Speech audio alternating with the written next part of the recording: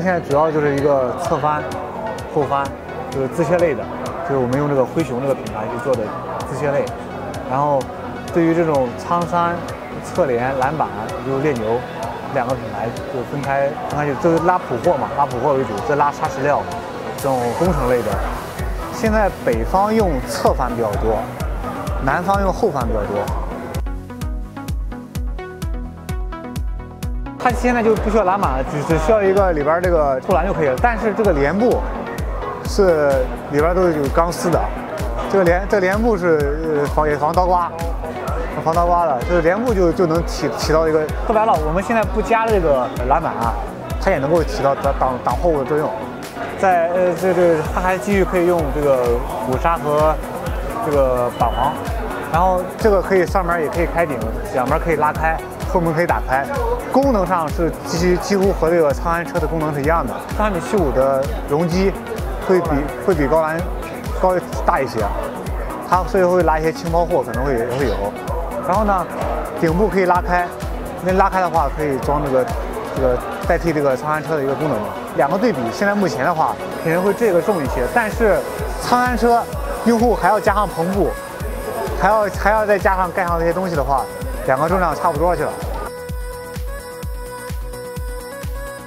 我们现在专门做了一个产品部，去市场上做调研，发现什么问题，及时的就跟设计部就这一块了，就做做做改进去。所以说，主要是在选材和设计这两个大方面，去把它做得更抗造一些。呃，低端的配件我们就不用了。呃，我们也是想的，就是说你不能说东西全做的。就是挺好的，价格就是让用户又接受不了。我们现在想的就是说，我们能够用能够给用户节省哪些费用？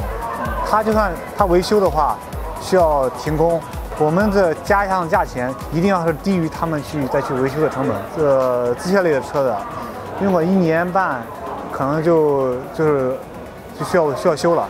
我们争取能让他用个三年不需要维修，四年不需要维修的。其实我们之前做过都七八年的，有没有问题啊？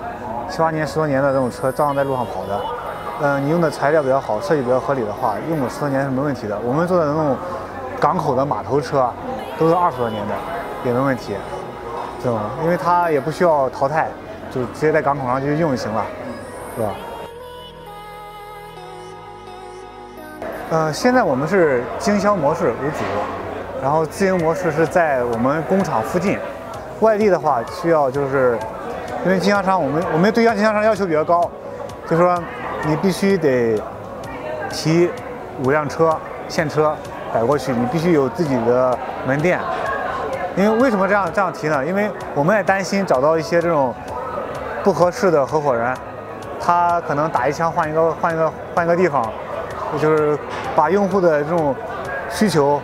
给你提供的不合适，用户本来需要一个好的车，他给他下下配置，下下配置弄一个差车了，有可能出现这种情况，就打一枪换一个炮仗，赚自己赚一把钱就走了。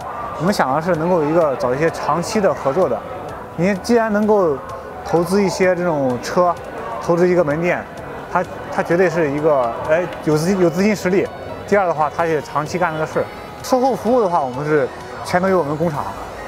就是他们只是给我们反馈问题，我们工厂，因为我们要需要收集到一些信息啊，怎么改进产品，然后哦，具体的操作的话，就需要就需要当地的一个网络了，啊，我们需要按按照我们的方案去给他去做一些这种维修啊、保养啊这样的，啊，因为但是信息上、指令上就需要我们这边来去收集，然后再给他发出。